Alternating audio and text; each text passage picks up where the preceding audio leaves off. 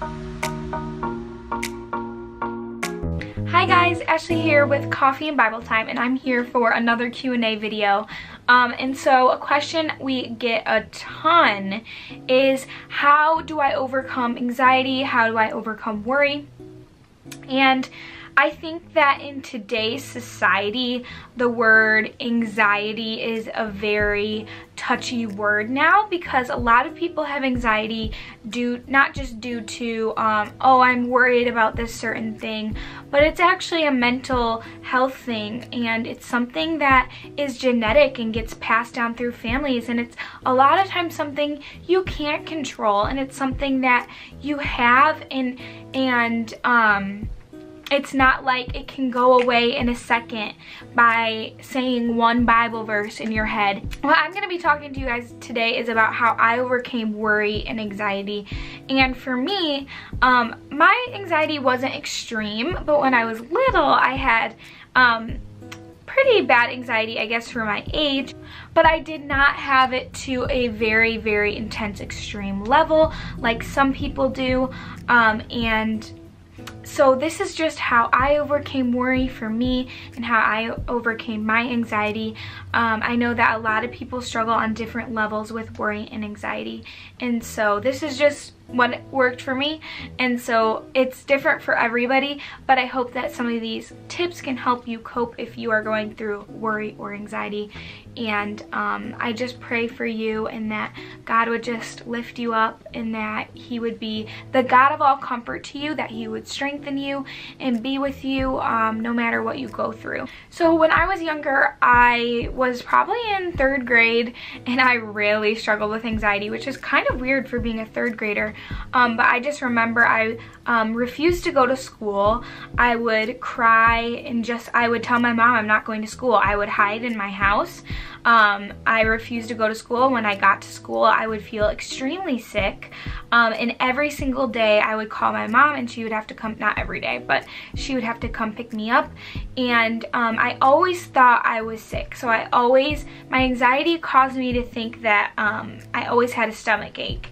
And I always was so terrified, just completely terrified, like to the max level to throw up. And I know there's like a word for this, which I'll put right here, but it's the fear of throwing up. It's the fear of getting sick. It's the fear of um, just losing that control. And so that kind of started to control my life. It actually did a lot. Like I couldn't sleep. Um, I was scared to go into public places. I was scared what I would eat. My mind would play tricks on me. Like um, like if you don't do this, this, and this, then you're gonna throw up tonight. And so I would be just living under these chains of, I guess somewhat anxiety um, and worry about things I couldn't control. And I was only in third grade which really stinks. Um, but I remember just going to multiple doctor doctor's appointments and them not knowing what it was and finally after months a doctor realizing it's anxiety. You have anxiety. You are it's all in your head. You're not actually having stomach problems. And so um um yeah, I was like, what? I was so confused because I didn't even know what anxiety was at that time. I remember my mom telling me, all right, well, I'm going to take you to like a counselor or someone. And I just, I got so scared because I knew they were going to make me watch someone throw up or something along those lines. And so that's when things really started to change for me. So I did have that anxiety and I had it for a long time and I think the biggest thing for me is that my anxiety did not, my anxiety or my worry, I guess in a way, did not go away overnight like that. It was definitely a gradual process and I think looking back the thing that definitely helped heal me and help um, help me overcome anxiety was me gradually getting closer to the Lord. And the more I got closer to Him, the more I spent time in the Bible, the more I meditated on Scripture, um, the more I prayed, the more I just gave my life to Him and surrendered everything to Him.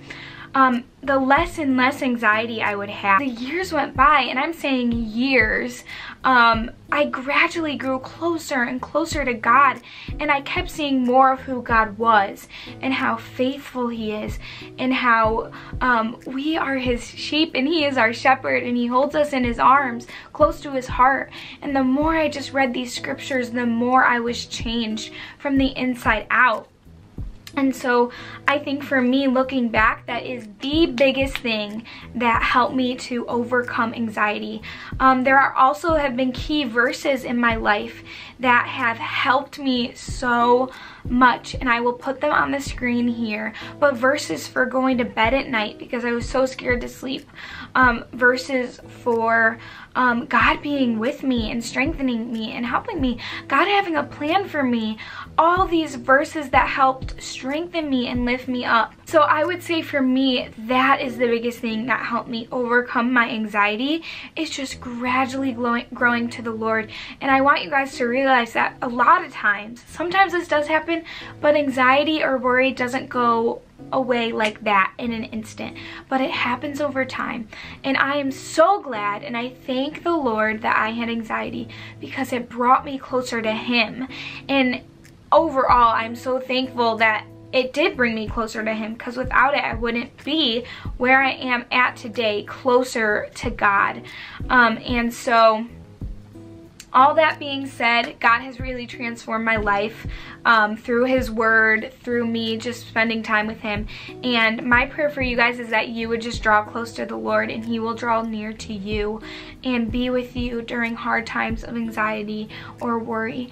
Um, yeah, and I just want you to know that um, God is so faithful. He is your solid rock. He's your foundation. So lean on him when you aren't strong because in your weakness, he is strong and that is the beautiful message of this video that God is there for you. He is faithful and he is your mighty rock that you can always lean on.